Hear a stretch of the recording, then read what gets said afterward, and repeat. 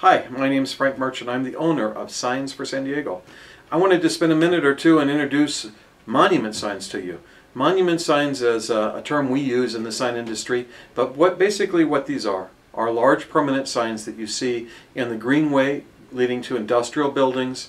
Uh, you also see them in retail space. You see them in uh, neighborhoods. And they can be made out of uh, stone, brick, wood, uh, concrete. Um, they're very common. But in the last oh, 15 years or so, um, there's been a real break from tradition. And instead of making them out of hardscape with foundations, as you see uh, many of the old ones, we're now making them out of uh, high density foam with a, with a hard shell on them. The advantage of this is it's much, much tougher.